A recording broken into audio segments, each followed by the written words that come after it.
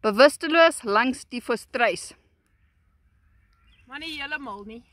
For those of you guys who sits in a boring office all day admiring to be me, contact me and maybe I will take you on a oh, shoo, on a field trip with uh ostriches and buffalo and even pigs. Your pet is my passion.